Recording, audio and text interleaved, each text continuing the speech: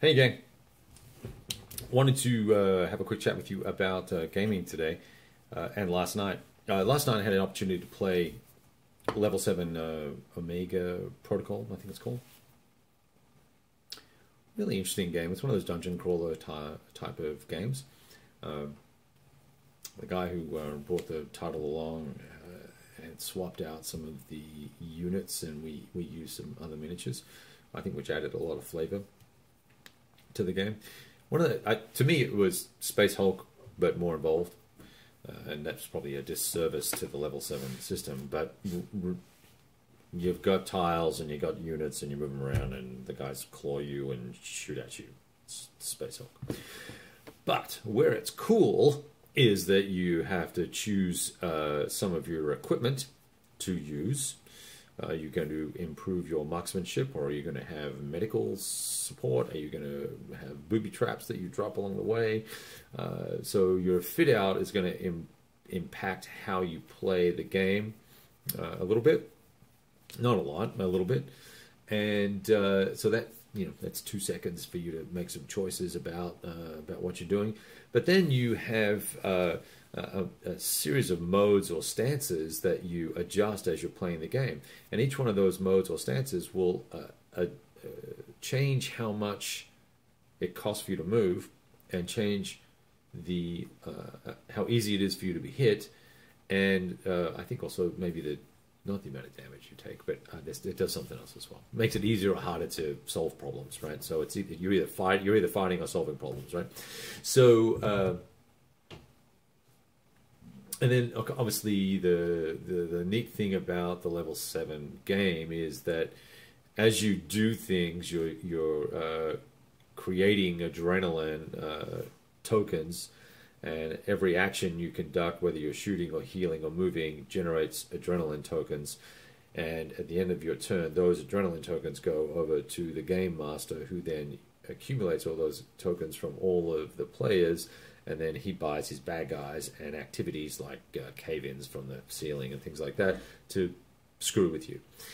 Uh, so the more you do, the more you get hurt. The longer it takes you to get through the the, the maze, the longer, the the more stuff he gets to do to you, and the intensity uh, kind of ratchets up because there's a trigger in there that will make something happen. I forget what it was. Anyway, I really enjoyed the game. It was a lot of fun. Uh, got a little acrimonious because I kept getting left behind uh, while we were playing, and uh, then when I finally was in an opportunity to help everybody, I chose not to. I was a dick. Uh, so that was uh, amusing in of itself it was amusing for me anyway. We did lose on the very first scenario of level 7 Omega Protocol, and I don't think that's actually possible, but we did manage to do it, and I'd like to say that it was all my fault. Uh, so there was that, and then, whoops, and then yes, uh, today we played uh, our sixth or seventh session of uh, Angola. And yet again, the communists didn't win. And in fact, you know, if we were going to be super, uh, uber, hypercritical, we would say, what the freaking hell? The game's broken. Communists can never win in a four-player game. And it's easy to win in a three-player game because one person's running the communists and they can control and coordinate. But uh, what we found was that uh, the MPL, I think it's the MPLA, the yellow guys, uh, are just kind of uh, the poor man's excuse me, the poor man's army, and really struggle to uh, have a meaningful role. Excuse me, um, should have eaten chips today.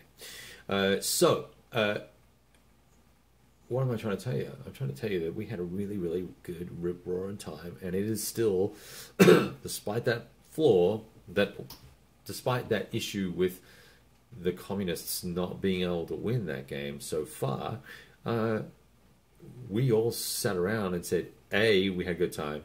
B, we enjoyed it. We never, at any one time, we never, no one ever really felt like it was a slam dunk and we were going to win until the very last turn that we were playing, which wasn't the last turn of the game, but it was the last turn. Uh, wasn't the last turn of the game, it was the last turn of the particular game, but it wasn't the last turn of the turn cycle. Fuck, I can't, I really am doing a crappy job of talking tonight. I'm fried. So, uh, really good game. Very close, very tense. Uh, very different game from any of the others that we've played.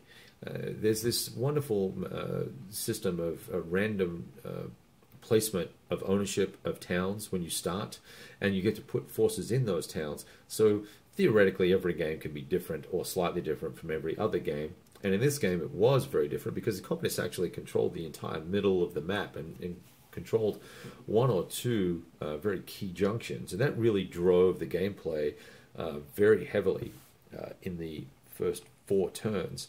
And, you know, Luanda in this game is important for uh, the FPLA, the red faction for the communists. They have to keep that. They never were, in any risk of losing that but uh, Nova Lisboa is another junction in the southern half of the map. Uh, a major city. That changed hands probably five times in the game. Has been fraught with uh, death and mayhem and artillery and tanks and aircraft and all sorts of craziness. And it swapped hands many times. And victory points went backwards and forwards many times. And uh, what the net result of all that was that, excuse me, that the South African UNITA uh, UNITA forces ground away at the MPLA, the Yellow forces uh, from the communists. And in the end, uh, as the as the tide of forces rises in the in the game for the blue faction, uh, UNITA, uh, they eventually have this overwhelming force, and they were able then to definitively capture Nova Lisboa and then uh, move up the coast of Angola and take uh, two or three major cities. And that all happened in one, uh, didn't all happen in one turn. That final series of actions all happened in one turn, combined with the the very late capture of uh, is it Lubinda or Cubinda? I forget what the name of the town is, but the town that's up in Zaire. Uh, that fell very late in the game as well.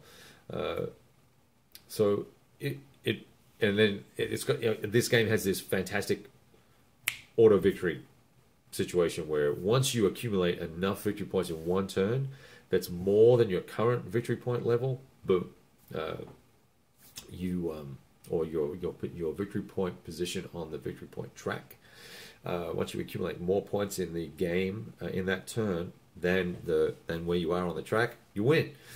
So that's what happens. And so it's a very interesting cat and mouse game where you don't want to be winning by too much. You don't want to be losing by too much.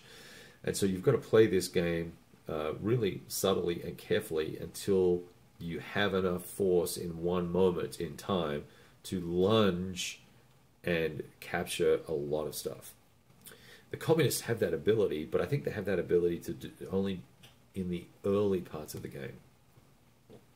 Which means unless they can really uh, strike out and capture an enormous amount of uh, area in the early game, they they're going to struggle to win.